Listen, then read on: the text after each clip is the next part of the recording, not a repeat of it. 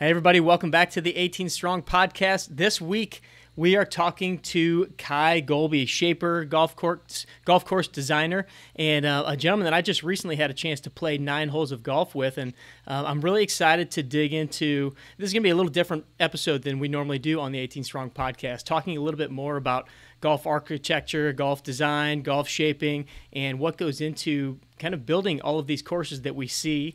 We know that you know these courses are being built or courses are being renovated, but what really goes into that? And um, it was fun to get to pick Kye's brain a little bit when we played, but this is going to be even more fun to to be able to dig a little bit deeper. So let me bring in our special guest, Kye. Welcome to the 18 Strong podcast.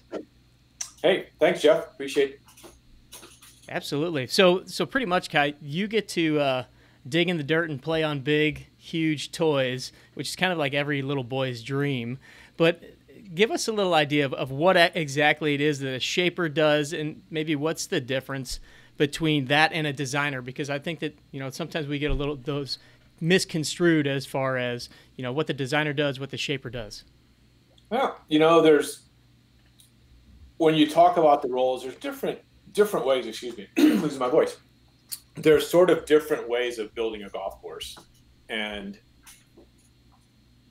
with me, I started out trying to do it with plans and everything, and it just looked like when you would try to give a bulldozer operator. My first job I was on, it was actually a union road building crew, and trying to explain golf to those guys was pretty hard. And it was like, man, that would be fun, just like you mentioned, the toys. It'd be pretty fun just to be able to build it yourself and not get all this stuff lost in translation. So I kind of I couldn't draw worth crap anyway. So I kind of got into it that way, and working with guys like Tom Doak, who I've worked with a lot over the past 25, really 30 years now. No, 25, excuse me. Um, Tom Gil Hanse, who I just recently have worked with some, Bill Coore, the guys that are really out there that people are they're building the new golf courses now, kind of the top guys in the field. The shaping and the design are sort of intermingled in the sense that you know Gil will get on the dozer and build the greens himself, which is what shaping is. When Tom started, he was his first course. He built the greens and the bunkers himself with the bulldozer. So some guys, those guys, the Bill Coore's guys, Bill gets on machines, he gets on a trap rake and floats out the green. So there's not this perfect separation within I, who I think the best guys are. Um, you might go to an old school method, something like a Robert Trent Jones Jr., Robert Trent Jones Sr., whatever. They send out a set of plans to a construction company who has bid on the project. And then that company has different levels of skilled people on the machines, and the shaper usually is their quote best guy, and he can build the greens, the tees, the bunkers, those kind of things, the features of the golf course. So, anyway, it's a kind of a long, drawn out way of saying it, but the the guys that are doing it now, and they all kind of learned from Pete Dye, who sort of did this in the field also. Wasn't really a set of drawings that you were following to a T. And all these guys that came off the Pete Dye tree, it's sort of shaping and design can sort of intermingle. In working with Tom Doak a lot over the years, you know, Tom will give us concepts. We'll have a routing plan, and but when we go out to a green, there's no stakes in the ground or anything like that. It's just, hey, we want the green to sit over on that ridge, and the ridge might need to come down about a foot or two, and we want the shot. If you hit it in the right side of the fairway, you should have a good approach to this part of the green and it should hold. But if you're over here, it might run away from you a little bit. And so we just talk about concepts, or we might say, hey, this is going to be something like the fifth green at Merion. And if you're experienced and have knowledge of those things, you can then incorporate that. So there's a little bit of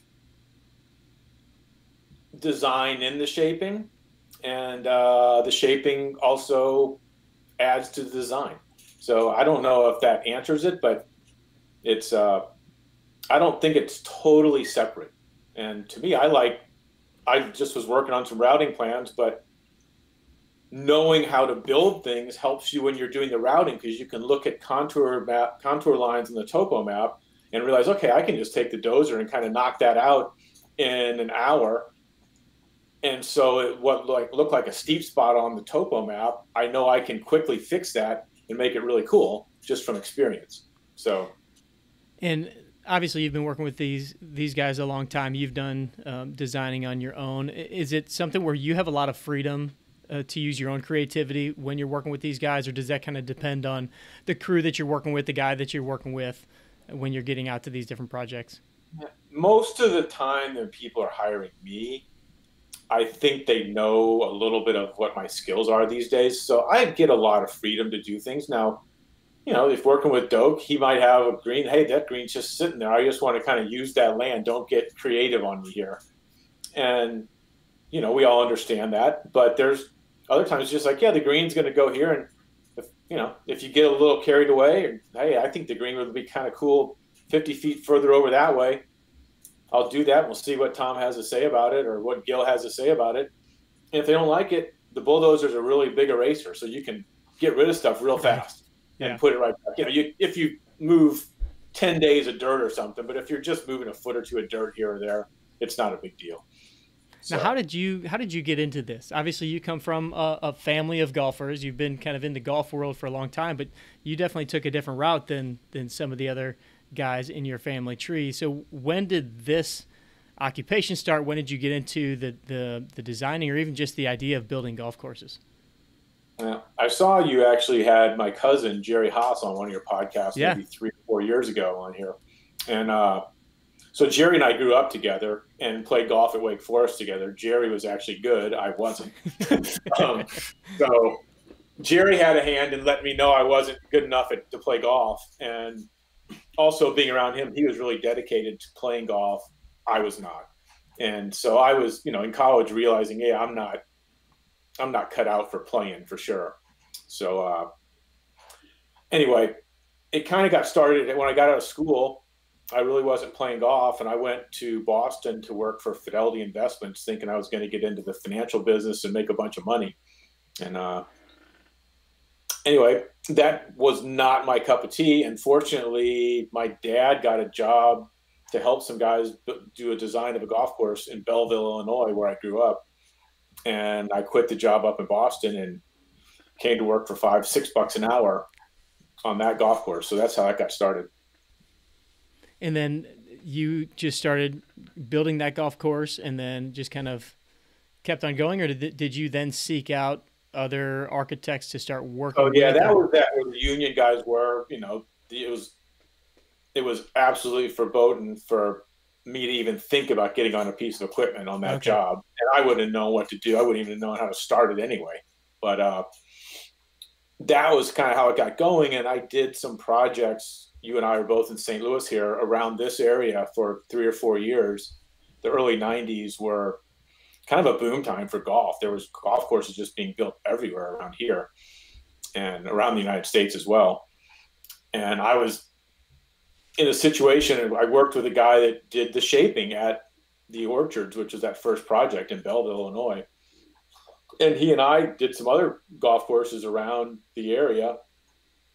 And then in 1990, the fall of 93, this, the Orchards happened in 1990. In the fall of 93, he and I got a job to build a golf course up in central Illinois. And so I did a design for that. That was the first time I did the routing and then basically shaped the whole thing myself, more or less.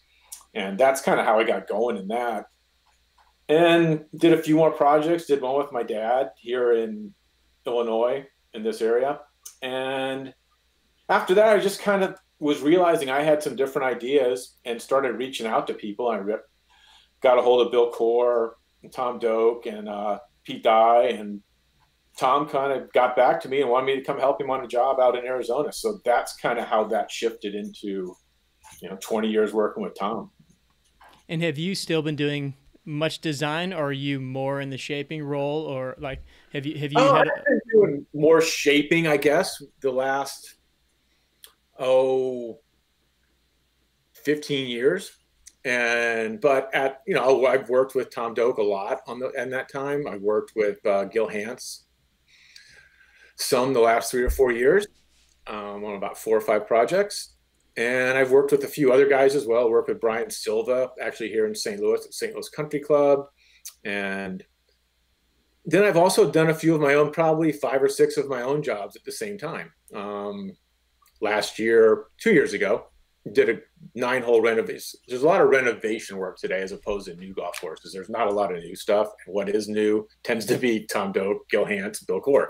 Right. Um, so, you know, you're not, if you, if I was out trying to build new courses on my own, I'd probably be broke. So working with those guys is fantastic because I get to work in New Zealand at Tara Iti with Tom Doak or last year at Oakland Hills, redoing Oakland Hills with Gil Hanse, you know, just great projects that I would never get to do on my own. But a couple years ago, I did a nine hole renovation in Saratoga Springs, New York. And it was a really cool old golf course. It was built in 1896. And, you know, it was my, my redesign, but I tried to kind of leave the course. You know, it had hundred plus years of history. I didn't want to just blow it up. So anyway, that course was just ranked the 11th best nine hole course in the world after we got done. So that was kind of cool. And, uh, working on a few things of my own right now and also talking with Gil and with Tom about doing projects with them. So, you know, it's, it's a little bit of everything, but keeps me happy and keeps me busy.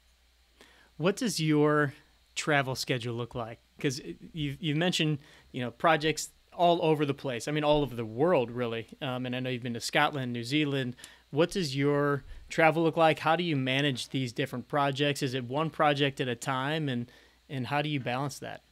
Yeah, my my travel has become more one place at a time. Up until about 2008, we used to kind of be jumping, coming home, fly. It was like business was kind of crazy with Tom. We would just fly out, work a couple weeks, fly back, maybe go somewhere else for a week and work, and go back to the other place, and just it was a little more traveling back and forth home.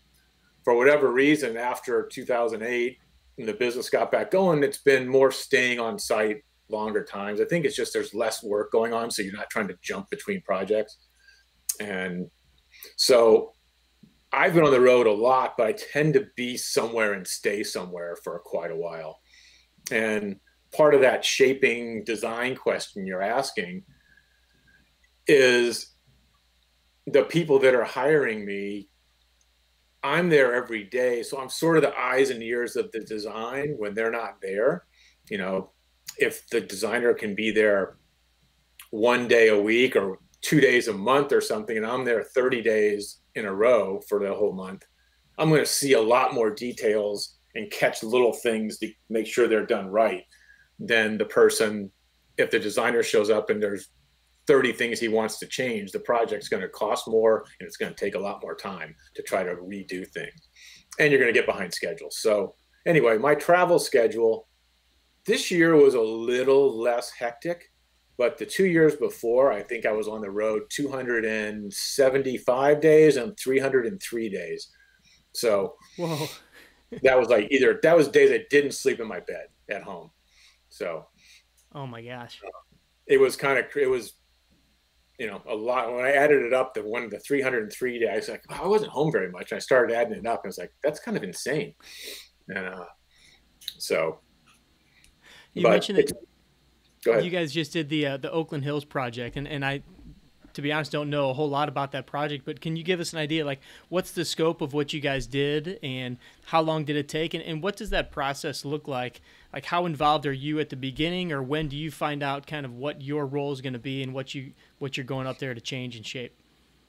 Yeah, that job. If so, people listening to this don't know Oakland Hills history. It's been hosting U.S. Open since USGA hosting USGA events since the 1920s, and it was kind of famous in 1951 for being the monster when Ben Hogan won the U.S. Open. Robert Trent Jones had redesigned what was a Donald Ross course built in 1916, and that's when Ben Hogan said he brought this monster to its knees, and it kind of be, it got known because of that. It's sort of, and so it's held quite a few U.S. Opens since then, and Ryder Cups and different, you know, all kinds of events. Anyway, over the years, they kept trying to fiddle with the golf course. I think to make it more difficult, and over time, they just went too far. It's like plastic surgery right. on an actress. It's just okay. You kind of jumped the shark there. You've got way too much. You were beautiful. Now it's kind of gross.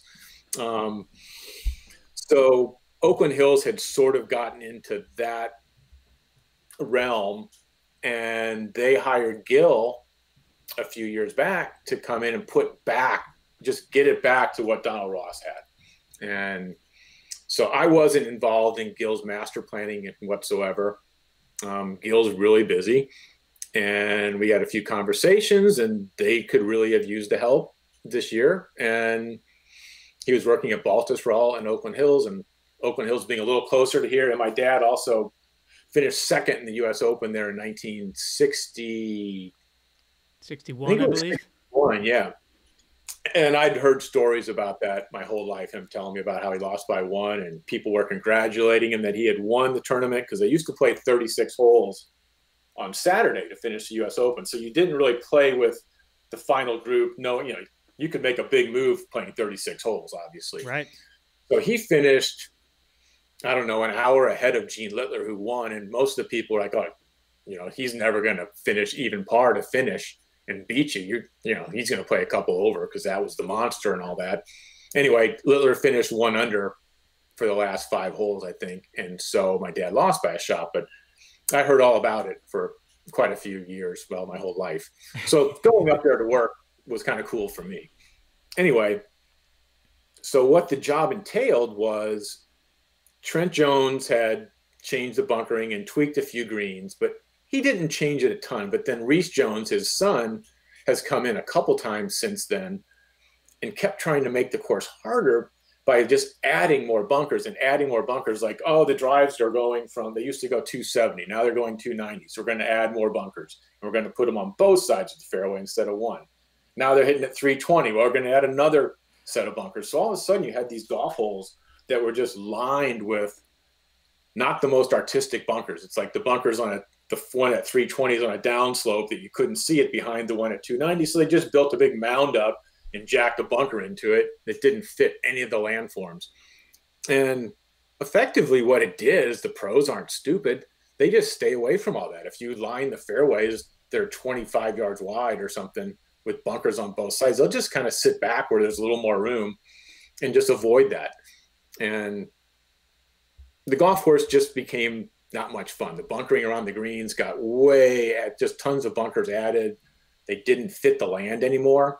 So anyway, what Gil's plan did was just put the Ross back, and it was really cool as we sort of erased and wiped out the stuff to see the landforms that Ross had originally created start popping again. And so that was the big part of the project. A lot of trees came down. There was a just a lot of trees planted over the years that had grown a lot and started infringing on play. Just there wasn't much freedom to play golf and freedom to get in trouble. You know, you kind of it's kind of like kicking a field goal. You know, what I mean, just you have things on both sides, and you kind of just it gives you a good idea where to hit the ball. Um, so we removed a lot of trees, widened fairways in a few spots, and then Gil came in basically 12, 13 different times. And we stripped the grass off portions of the greens, filled bunkers in that were added, and sort of put the bunk the greens back to the expansion, expanded them back out to where they originally were. And sometimes where there was bunkers cut in, that's where we would fill those bunkers. And Gil spent a lot of times tying in all those expansions and every very few times did we come in and lower just tweak something to make it pinnable because in the old days things were a lot slower on the green so slopes were steeper. But we didn't do much of that because the greens are just fantastic at oakland i was dumbfounded when i got there. Had no idea what was really there i hadn't seen it and the greens are amazing. And gil did a fantastic job of getting them back and we all helped. I mean we participated with him and also the maintenance crew at Oakland Hills was, you know, irreplaceable in their help that they gave Gil with that too. That he had a crew of guys that worked with him. So it was hand raking and shoveling and just a lot of little bits detail work. But it, the greens are back to. You look at the old pictures, and there we had a bunch of old pictures from 1929 women's U.S. amateur, and we use those to put the greens back. So they look really similar to what was there, and it's so it's an expensive process and it takes a long time. I mean, we had you know 50 or 60 guys out there for five months. And uh, you know there's a lot of new drainage in there. We had to remove lakes that Rees jones put in and turn that back into a creek and just a lot there's a lot of work that went into it but it's pretty cool now. What does a project like that cost? Ballpark. Well that one costs a little more because they did something called precision air which is basically an hvac system that goes underneath the greens. Mm-hmm. so you can heat and cool the greens as well as suck the moisture out from them. So those are really expensive and that might add a couple two to three million dollars to the overall cost by the time you install it and get the power to it. But you know i think that project overall might have cost 10 to 12 million dollars um, you know, we've built a lot of golf courses brand new that are really really good golf courses that cost much less than that so sometimes retrofitting is actually harder than starting from scratch. You mentioned that a lot of the projects these days, um, outside of some of the, the bigger name architects, are mostly renovations. And it seems to me like a lot of them, a lot of these renovations are saying, like, hey, let's go back to the way that the original guy designed it. Is, is that kind of what you're seeing that throughout time golf courses tried to just either make things harder or just kind of added things frivolously. And now a lot of guys are trying to go back and, and almost bring it back to the original pureness of the way that the, the architects brought it forth. If the golf course has the pedigree that it's worth taking it back to what the original guy did, yeah, there's a lot of that happening. Some of that's keeping up with the Joneses. You know, everybody, oh, they're they did that, and it, it the golf course is a lot more interesting now just getting on old golf courses where the greens shrink, there might be 20 or 30 feet on a corner of a green that's just rounded off over the years. The mower just goes around and you lose an inch this year, you lose an inch next year, and you know, 30 years later, you've lost, you know, feet. So just getting some pin placements back really does help, but it's a pretty common thing that's happening these days. Um, and I think the problem is over the years, you have at private clubs, you have green committees that, you know, each green committee is on for two years and they want to make their mark. So they decide they're going to do this, or we're going to, we're going to add a bunker in front of the green on the front lefts because that guy I play with, he hits a slice in there and he bounces it in there all the time. And that pisses me off. So I'm going to put a bunker there. And it's a lot of these selfish thoughts, or they want to you know, make it harder. So we're going to plant some trees or we're going to put a bunker in. Well, the trees grow for 50 years and all of a sudden you can't even play the hole at all. So a lot of things like that happen, but just like your house too. If you live in a house that's 70 years old, some things are going to need renewal. And uh, so it's a little bit of all those things, but there's a lot of green committee errors over the years that keeps us really busy. So I should probably send thank you notes to those guys because it keeps us real busy.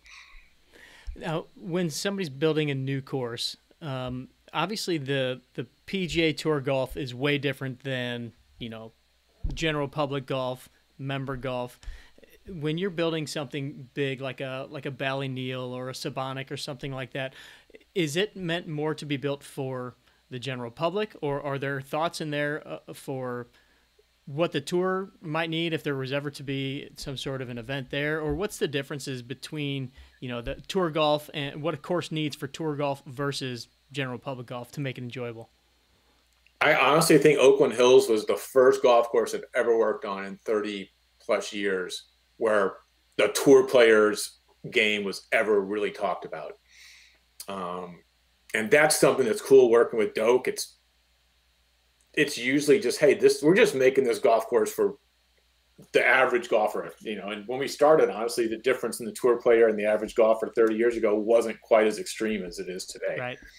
Um, but like i said oakland hills was the first time we really really talked about that at the almost in every conversation because they wanted to get the us open back. And you know it was a bit frustrating because while we're doing this, this year's U.S. Open obviously got pushed back, until the fall. And as we were finishing up, they played at Winged Foot, and Gil Hanse had redone Winged Foot. And just watching what happened to that golf course with DeChambeau and other guys, just the distance people are hitting it. We're, you know, we're out working on these holes, and we're like, you know, does it even matter what we're doing? Because if a guy hits it 350, they're talking about getting the U.S. Open in 2029 or 2030, and it's like, what's going to happen 10 years from now? Yeah, and we're like, does it matter? We've got a 570 yard par five, and we're talking about things about the second shot. And if a guy hits his drive 370 and the hole's 570, he's got 200. That for those guys, it's an eight iron, you know. Yeah. So it's a we've got it's a driver eight iron hole, and you know at that point the rough hardly matters when you're hitting an eight iron because the loft. And so it was kind of mind boggling watching that thing at at Winged Foot while we're doing spending all this money at Oakland Hills, and you know, you're just like, please God, let them do something about how far the golf ball goes, because if they're hitting it 400 yards, I mean, no, there is no such thing as a par five at that point. Right. I mean, or you'd have to take the driver out of their hands, and then that's no fun for the member the other 361 days of the year. So, um, anyway, I got, I got a little sidetracked there, but as far as building the golf courses, the, most of the time, and you know, I use in Doak a lot because I worked with him a lot. But as Tom would say a lot, he was like, you know, Bobby Jones, the golf course when it was built, if Bobby Jones was the best player in the 1920s, your average member is pretty much hitting the ball the same distance today. So you're getting to play effectively what Bobby Jones was playing. So it's still working for 90, 98% of the players. And the really good golf courses have really good greens. The distance is sort of negated by the good green contours where you have to come in from the right angle. So those old golf courses are the new ones that I've worked on with Tom or Gil. You can still defend par just by having some really great greens. I'm curious. So you come from a family of, of a lot of tour players. You are on the other side. You know, it's almost like the the architect, the shapers, the designers are the ones defending the course. The the players are the ones trying to attack the course. Do you have you ever had conversations with either your dad or your cousins or um, any of those guys on you know what they consider a good golf course versus what you consider a good golf course? I, I'm curious if the if you guys would go out and play you know what differing opinions you guys would have on what's what's a good hole, what's a bad hole, or, or something like that. Yeah, I've had quite a few of those conversations, and for the most part, there's a lot of agreement. Now, I might like something really quirky, like if I was at North Berwick, I might think, or I do think, and I won't, don't might, but a lot of the holes there that someone might think are those are nuts. Those holes aren't you know that hole the Redan hole is not a great hole or the 17th hole with the green up on top of a ridge or the 14th hole where it's kind of blind over down into a bowl as a really good player they might not enjoy it as much as me because their skill is sort of being negated and luck is getting a little more involved now what's interesting about that is the skill does come into play combined with thinking. Because if you know you can get in trouble and they're good enough to hit it where you're not going to be, recovery is not going to be a problem, they can just slide through that hole and not make a big number and just move on. And the conversations with the design with those guys, they tend to agree. My dad, Jay, Jerry, you know, none of those guys are huge long hitters. My dad was long for his day, but they all think the length the ball's going is taking away from the game because when they played, you know, a good player still had to be able to hit long irons and be able to stay in the fairway. Because if you're trying to hit a four iron out of the rough, that wasn't the same as hitting a wedge out of the rough. So everyone is still in agreement that, as far as design goes, that the distance is an issue. Um, but the biggest difference is I might like a green with a little more contour than they may prefer that can make them look bad or, you know, doesn't maybe reward the shot the way they would like it to that I can't fly it right at the hole. I might have to bounce it down a slope to get close, which is funny because that's what happens at Augusta. And everybody loves that. So, right. Well, that kind of reminds me. So you and I, we had a chance to play nine holes at Sweetens Cove, and obviously there, the you know the green contours and everything are, are much like what you're talking about. But what I noticed when we were playing is is you were kind of walking around hitting putts from different areas. So I'm curious when you go to a, a, new golf course, what is it that you kind of start scoping out? You know, like for, for me, with my background in physical therapy, like I just naturally notice like if somebody's limping or somebody walks a little differently or something like that. So I'm sure there's things that that I would never see when I'm staying on a tee box or walking through a fairway, but things that just you pick up without even thinking about it. What are some of those things that the, the natural golfer wouldn't see? on a new golf course, it's probably you bringing it up before the shaping, knowing how people worked with the land, and if if you can really tell what they did, because one of the biggest with shaping, one of the best compliments I think you could give is I can't tell you did anything. That it's it just looks like it's been there forever, and there's really it's like well I don't think you did anything here, but actually we did a lot, but you can't tell. Um, if I can see a lot of things on the golf course where it was like, that's kind of obvious, or that doesn't look like that doesn't look like nature put it there. Those are maybe the first things I might notice, and then the next thing is probably the greens, how the greens work. Um, really good greens. You're not going to get a bad golf course that has really good greens, probably, and so what you're talking about Sweetens Cove, I was just seeing how, okay, if you missed over here, where's the ball going to go if I'm coming this way? And so, you know, the, the naturalness of the shaping and the greens contouring is probably the first thing I'll notice. And I think you almost notice it without thinking how the routing works. If if the golf sort of fits and you don't have to walk a long way, or if it's a golf course you have to get in a cart and drive 250 yards to the next tee, then I'm like, oh, this is not going to be enjoyable for me. I'm just like, you obviously weren't focused on a nice, simple walking golf course. So those when are the prime things. When you go to a, a, new course, or I mean, it could be an old course, but maybe even new to you, are you the kind of guy that can visually like just remember everything about the different holes? Uh, me personally, I can play 18 holes and you ask me what the fourth hole was, and it, I, I go blank and have to like retrace my steps. But uh, are you somebody that you take that all that in and you're able to, to kind of see that, and talking about the routing and everything? You know, some places I can, some places I can't. It's and I I used to think it was always the best golf courses. I can remember it. Just it just sticks. It's just I can remember that.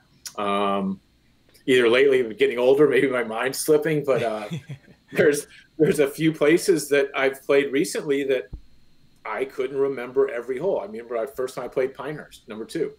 I got done. Oh, I'd actually played it in college a few times, but it was quite a bit different after Bill Coore and Ben Crenshaw redid it. Just it looked different. It wasn't different, but it looked different.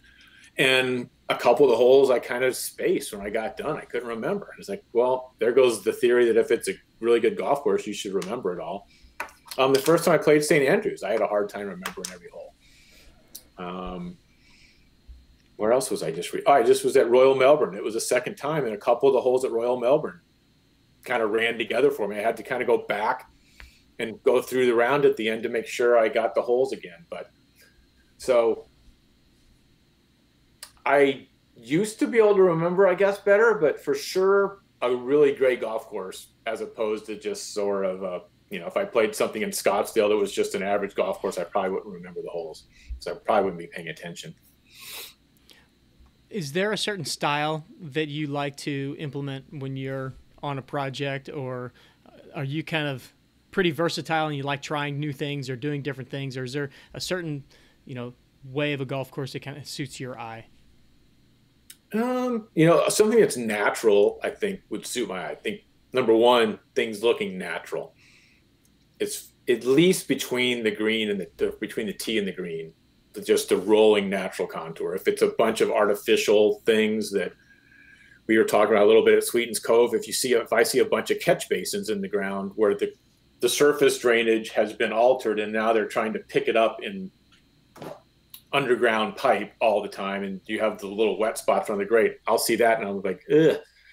And that's something I try to avoid at all costs building a golf course. But for style wise, if just we were just talking about this the other day on a project, natural drainage doesn't break. If if the surface drainage has been working for eons for a million years and you don't change it, it's not going to break like if you put a bunch of pipe in the ground you're trying to run water at some point something's going to go wrong and so if you can leave surface drainage as it is that makes it look natural and it works better. Um,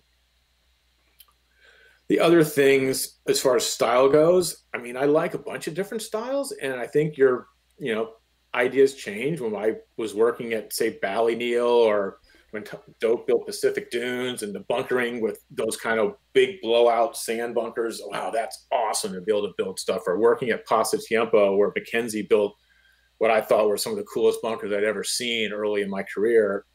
And those kind of jigsaw puzzle bunkers, you know, oh, that's, that's such a cool style. Now, if I was building something, I don't know if I don't prefer something really simple or no bunkers.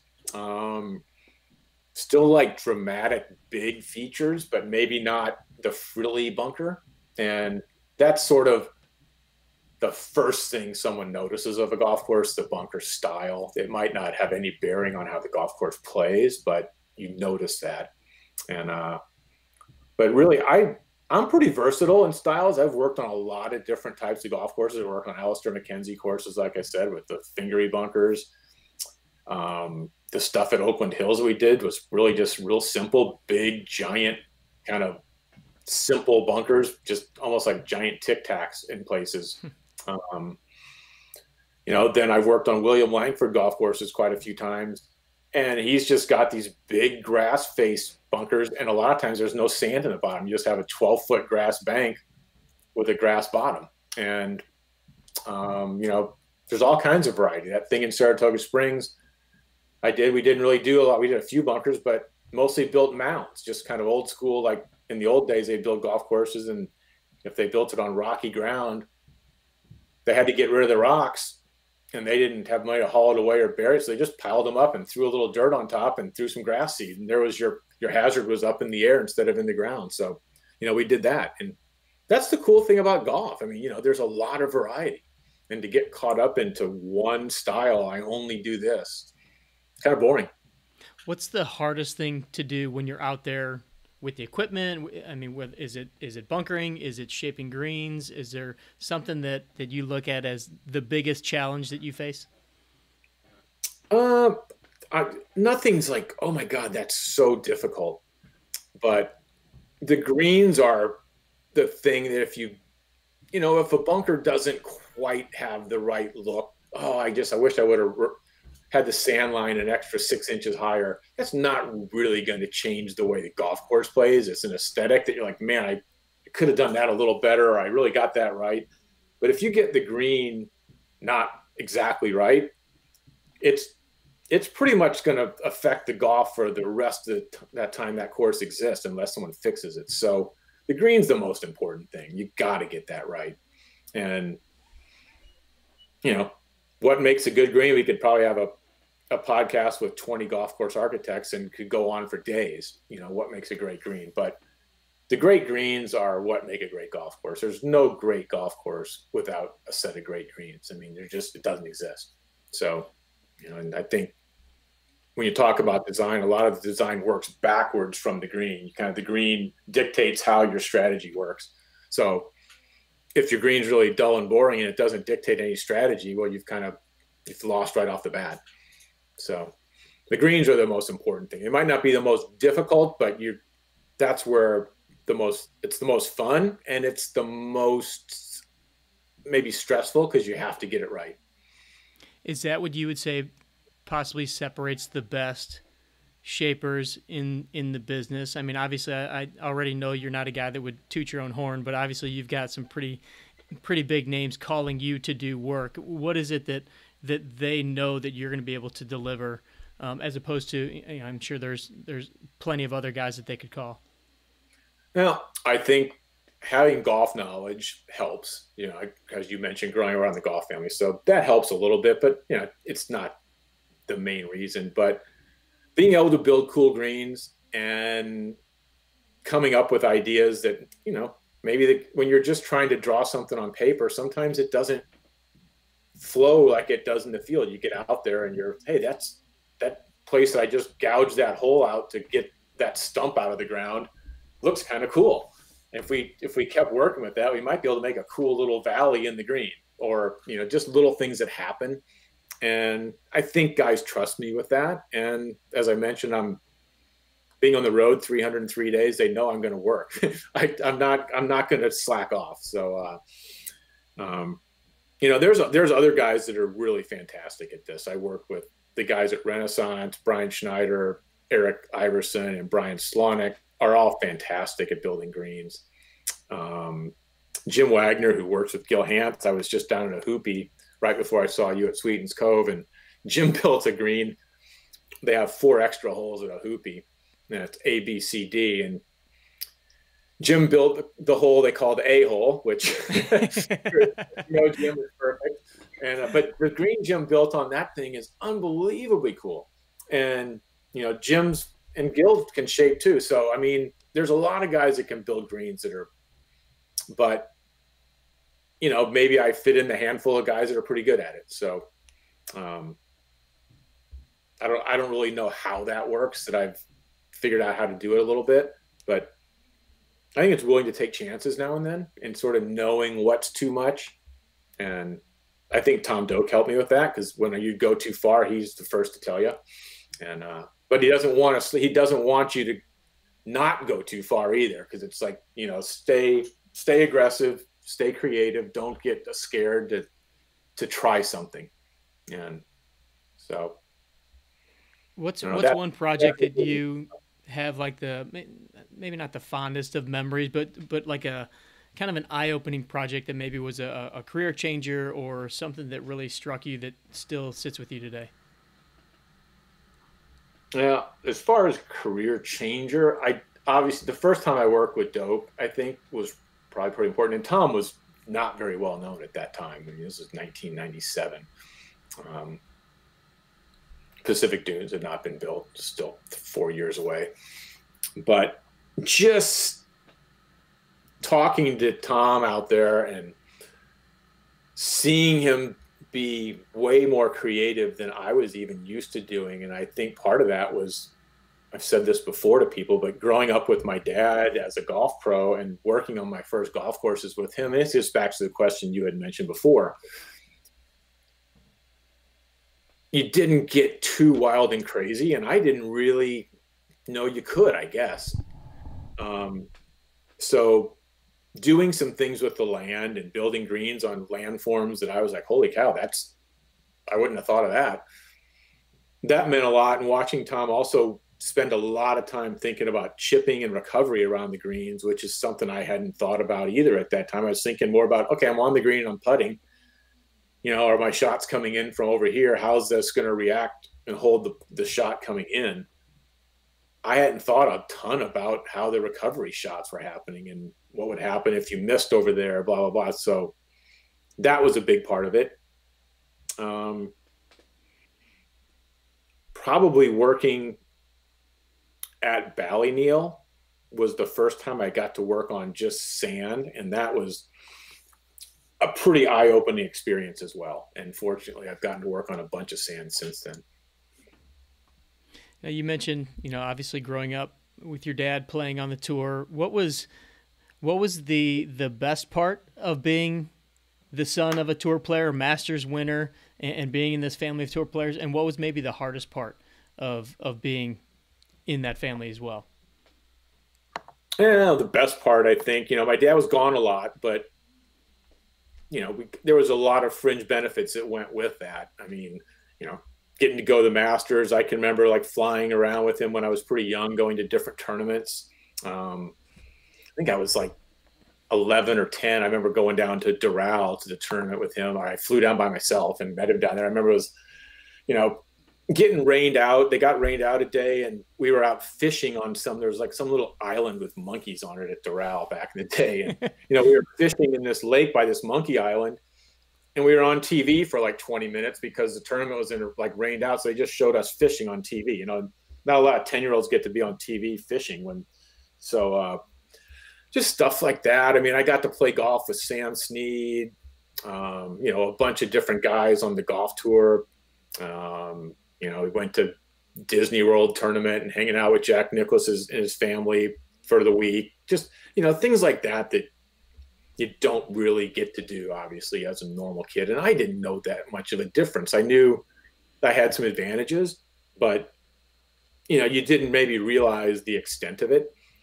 Um, and, you know, I got a heck of a lot of good golf lessons just from my dad. Just so, and they weren't formal golf lessons. I think I heard you talking to Jerry on Jerry Haas on the podcast, and you know, it wasn't. It was sort of just a little one little swing tip here, one little swing tip there.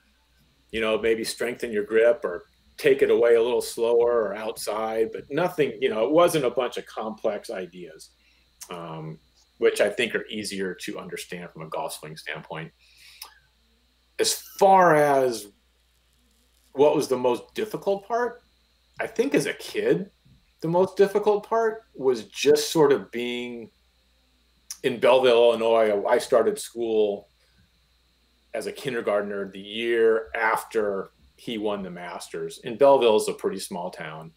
And so, you know, there was a bit of a spotlight. I was the oldest kid also. And so there was a bit of a spotlight on you. So you couldn't maybe get away with things like other kids might.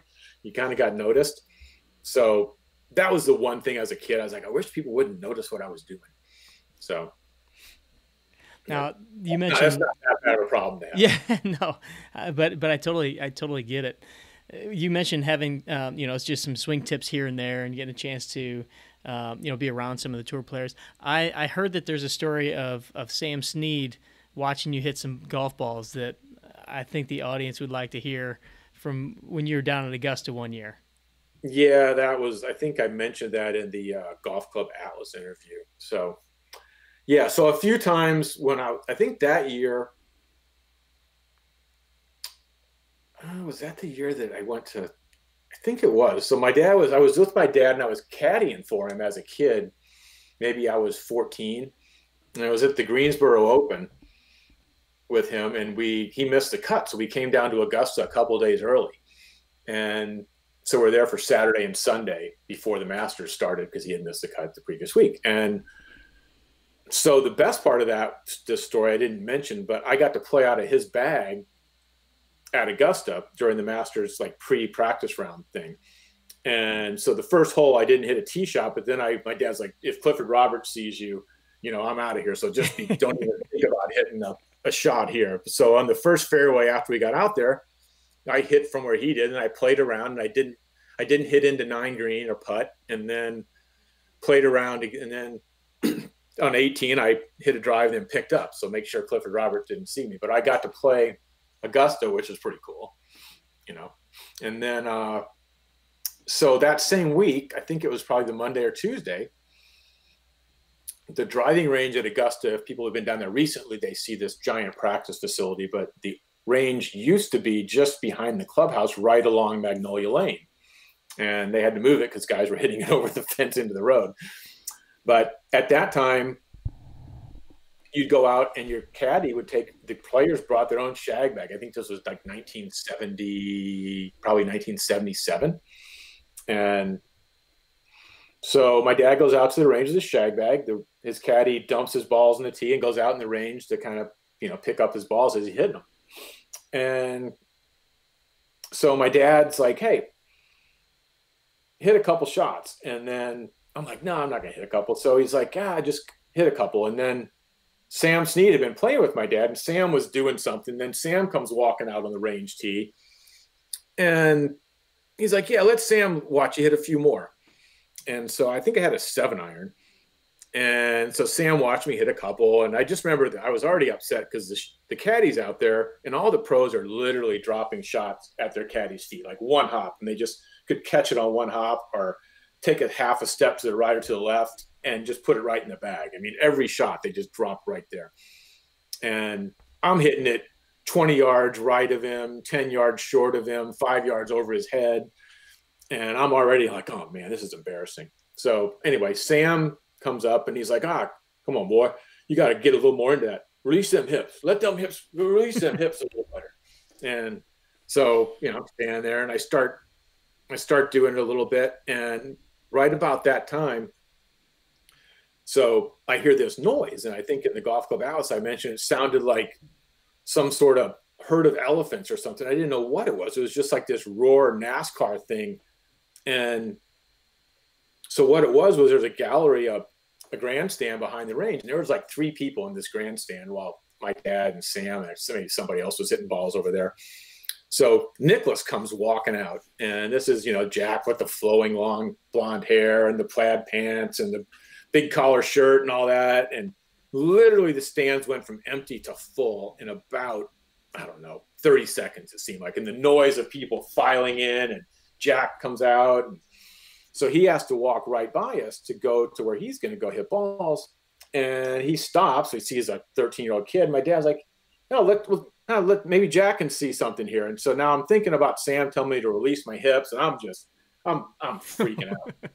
I'm losing my mind. And so I start trying to release my hips, and the you know your guys listening know if you open your hips up a little bit and you're probably nervous as hell. I start shanking, so I shanked the first one right into Magnolia Lane. and it's it's literally bouncing down Magnolia Lane and watching the ball bounce. And the caddy is out there, and I just see his face, and he has to go out of Magnolia Lane and try to get the ball.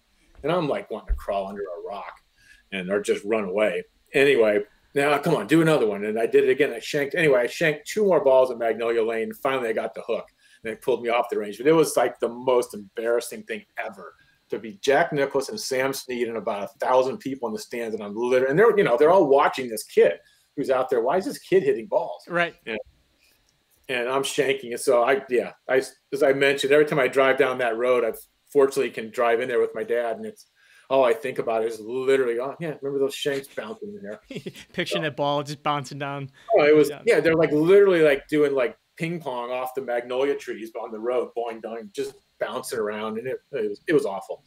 Oh, I'm, I'm picturing the caddy running side to side too, yeah. just cursing you. Well, he was he was pissed. I, I mean, I look at his face because he was like, "What the hell is this?" Because it was kind of dangerous because each caddy had their own little spot. Yeah. And then the guys dropped it right in the little circle for him, and you know, I wasn't doing that.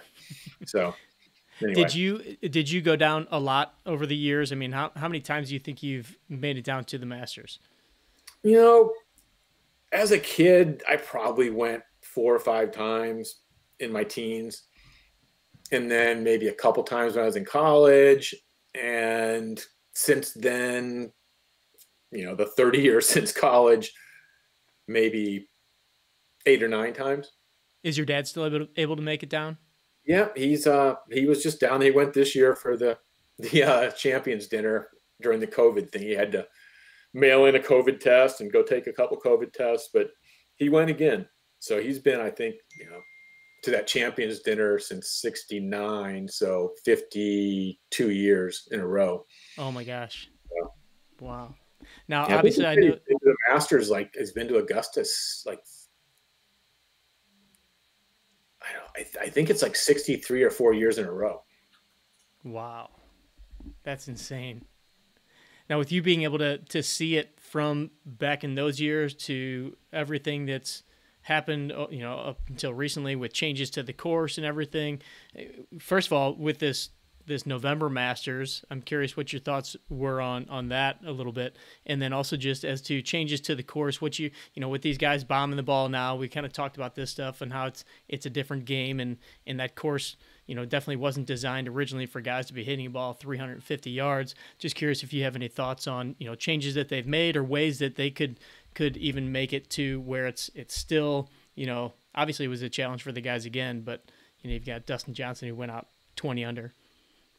Yeah, and I think the greens being soft had a big part of that. Um, but I was a huge fan of what Augusta looked like before they had the quote second cut. Um, this year it looked more like rough. it was pretty yeah. long. Um, and it's always been rough, but you know they have their semantics at Augusta that they use. I am not a fan of pretty much anything that they've done. I was my thoughts are, and I'm probably tilting at windmills here, but Bobby Jones and Alister MacKenzie were pretty smart.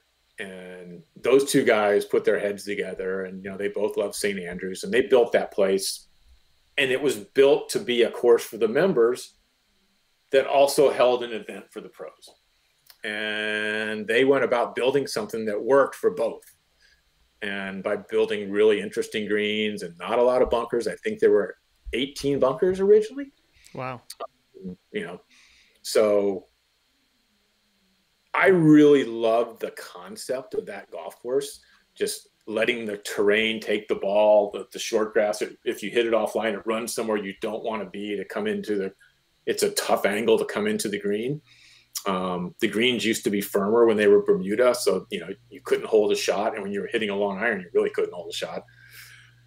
But ever since they tiger proofed, it really was the start. I mean, they changed things up until then, obviously quite a few times, but it still to me was more or less the same place. Uh, when they started tiger proofing it, putting the trees on 15, between 15 and 17, there used to be no trees out there. The trees on the right of 11, uh, the you know tree more trees on seven, and lengthening that hole. It used to be a three iron sand wedge, and now it's like 490 yards long through a you know it's like the hallway of a office building.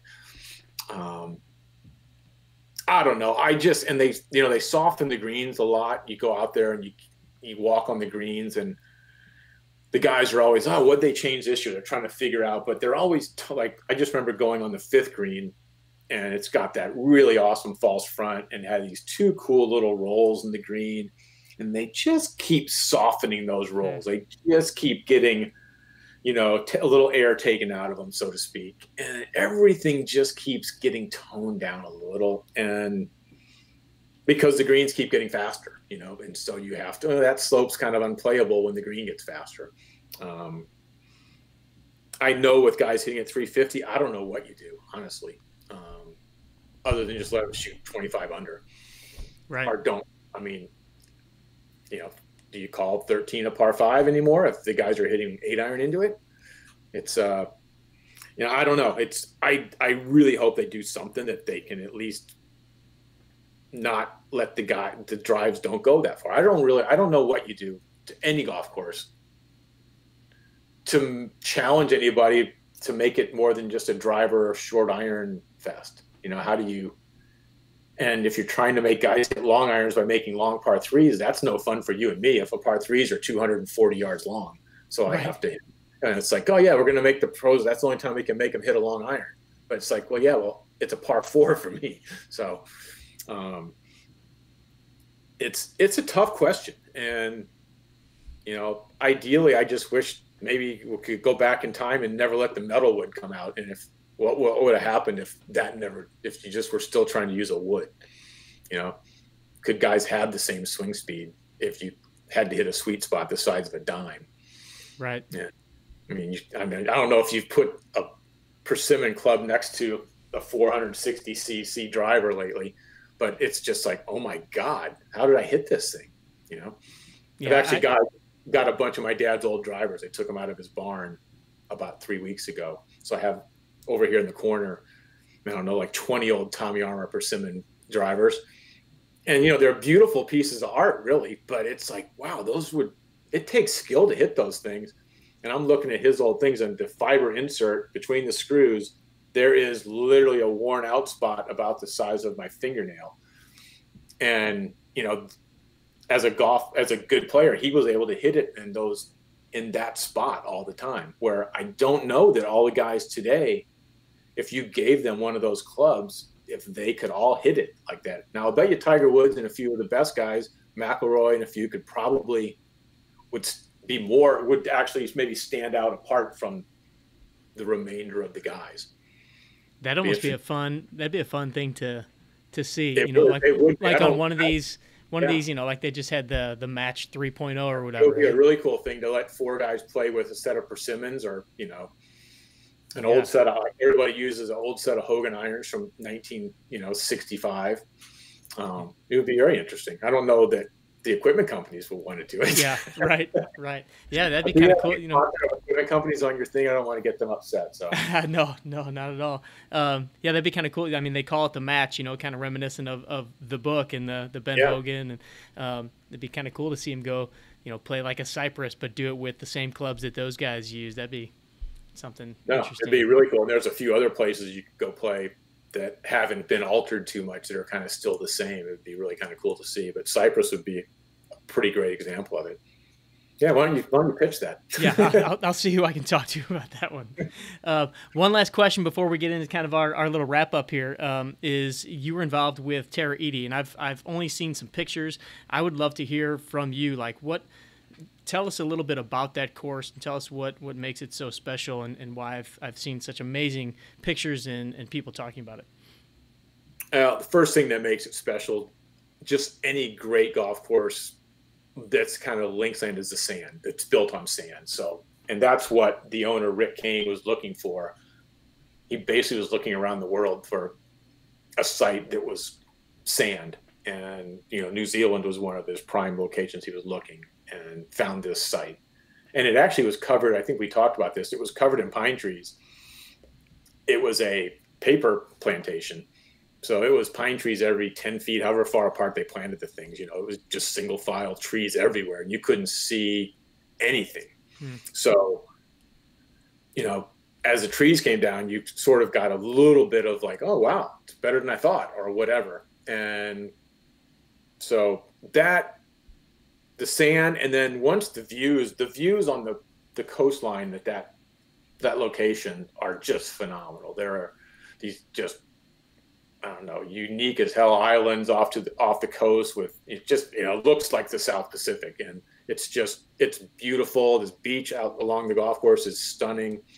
Um, but I think what helps make the golf course it all sits on a slope going down to the water, and I don't know exactly the percentage of the slope, but it's just enough that all the holes feel like they're on the water because as you're going down the slope, the holes are kind of above each other or looking down the slope and it just it just feels like you're right on the water all the time. You're mm. just it's like a perfect little just you know grade going down to the water. And then you know tom's routing is fantastic and it's one of those things where you said you know what do you notice? Well nobody would notice there that a lot of the stuff that's there is actually built because the features the small features especially were gone when the tree clearing happened.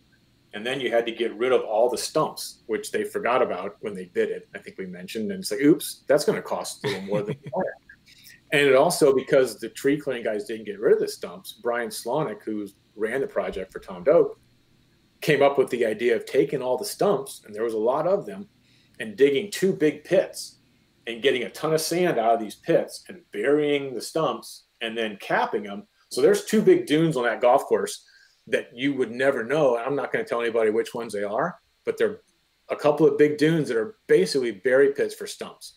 And wow. so there's some big features out there that were created, and there's a, all the small features were created just because when you take the trees down, you don't have the little ripples and things that are in the dunes land. Um, so that you know that and just New Zealand is awesome. and so you combine all those things and it's it's a beautiful golf course. When we were building it we knew it was kind of insane how beautiful it was but i remember going to cape kidnappers to go play golf while we were there. And i had i didn't work on cape kidnappers for tom but you know you'd seen pictures of that and what an amazing place it is. And it's just insane looking and we had built nine holes at this point terry or seven maybe and i, I was playing golf so i was like wow Tara Iti's way better than this. And this wow. place is, you know, in the top 50 in the world. And it's like, this place is boring compared to Tara Iti.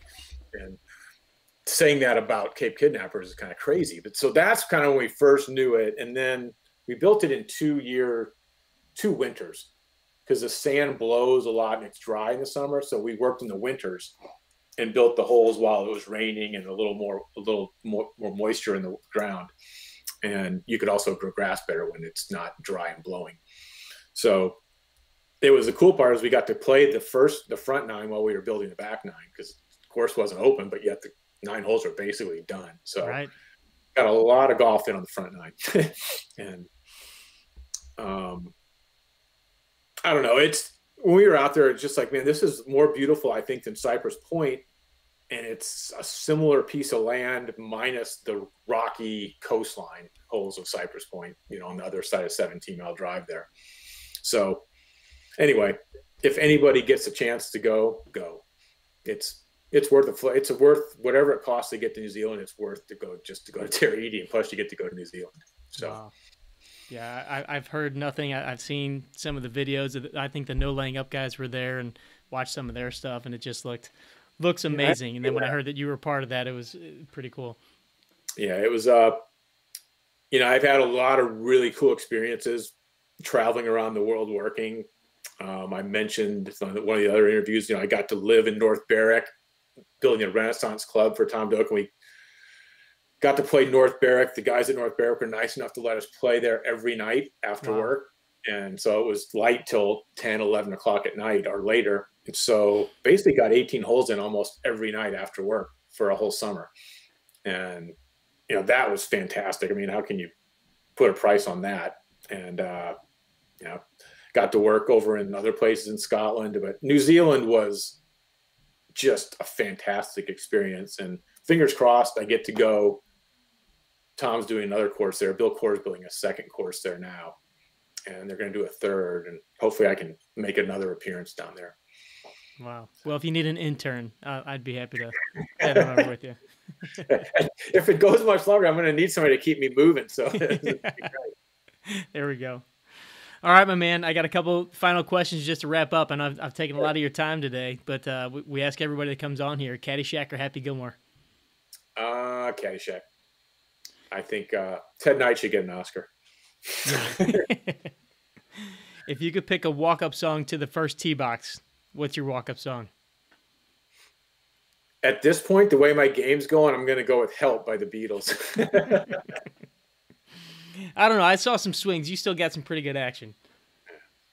If you could play 18 holes of golf with any, I'm going to say, if you could round out a foursome with any three guys, past, present, or future, or, or future, past or present, who would those guys be, and where would you decide to play?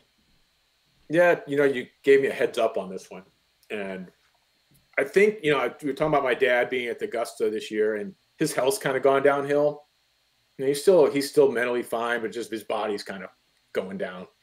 And he hasn't been able to play golf for about a year and a half or two years. And so I'd almost like do it, just play with him, but like give let you know, since we're doing this hypothetical, let him go back. And I would actually like to play with him. I think he was 30. What is he?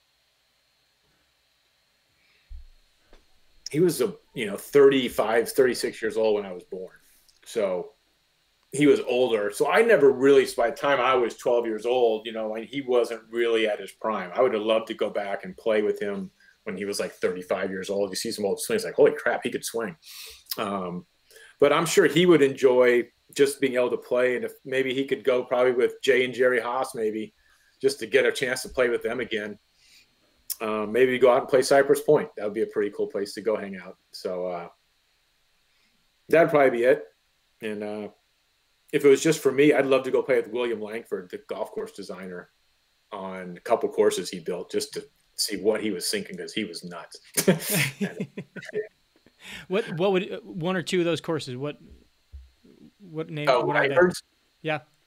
Um, the one I work on one that he uh, I do some consulting and work at West Bend Country Club in Wisconsin, in West Bend, Wisconsin, and that has nine Langford holes and they didn't build his back nine. They built a different back nine like 50 years later. And if they would have built his back nine, it would be one of the top, probably top 50 course in the United States because the front nine's nuts. It's really cool. Really? Uh, but that course, uh, Kankakee Elks, I don't know if you ever been to Kankakee Elks. No. Andy Johnson of the Fried Egg talks about it some, but it's in Kankakee, Illinois. Like if you're driving to Chicago, you go past Kankakee sometimes and there's this 18 hole course there that Langford did in his last course, I think, in 19, last Langford Moreau course, 1933. It's phenomenal. And it's a 12 $15 municipal public golf course. And it's run down, but the design is phenomenal. It's so good. If you if it could get restored, it would be like a top four or five course in Illinois, maybe the best course in Illinois, even if it's just saying a lot, but it's that good. And wow. So I'd love to see what he has to say about that place. But I've been stopping in there since I learned about it. I've been stopping there almost every time I drive past it just to go play. So anyway, got sidetracked on your questions. No, no. Um, last one would be if you could get your your dozer onto any course in the nation, what would it be? Where you could make you can make whatever changes you wanted to make. Wow. You know, most of the courses that I really like, I wouldn't touch. I'd leave them alone. Um, you know, it wouldn't be a dozer, but honestly, Cypress Point, playing that, it's like, oh my God, this is a fantastic golf course, but it could be so much better. The greens have gotten top dressed over the years and they've kind of like they're all puffed up and they've kind of lost what I think were the really cool contouring. It's kind of all been just top dressed for so in California they're open all year long. So like in the Midwest we top dress maybe twice a year. You know, they're doing it four times a year maybe out oh, there. Wow. So just the greens and the bunkering. I know they redid the bunkering in house, but it could be better. The mowing lines could be better. The trees could be better. I honestly think that course, as good as it is, could still be improved. So I'm gonna I'm gonna do it with shovels, rakes, and maybe uh, a small excavator, not a uh, bulldozer. Nice, I like it. Like it a lot. Well, Kye, I can't thank you enough for your time. Um, I hopefully we get to uh, go swing the sticks again sometime soon. Yeah. Maybe maybe we'll take a little road trip up to what is it, Kankakee? Kankakee Elks, yeah. Uh, actually, uh, our our mutual acquaintances know it well, so we'll have to uh, definitely do that. Okay, that sounds so. awesome. Well, well, thanks again for for coming on. Is there a place where people can kind of go and find out more about Goalby Designs? I know you said your website's been a little bit uh, underdeveloped over the past couple years, but uh, are you on social media anywhere people can check in on you? Oh, you know what? I'm on Twitter and Instagram, but I rarely do much with it. but I'm there. um, yeah, I may get my website up again someday here. But honestly, um, I don't know where you'd find me as far as on this this kind of world. Well, that, that kind of goes right along with the theme of your your shaping. You're you're there, but people don't know you're there. So there you go. That's perfect. Staying invisible. All right, man. Well, thanks again, Kyle. We'll talk to you soon. All right, Jeff. Thank you. I'll see you.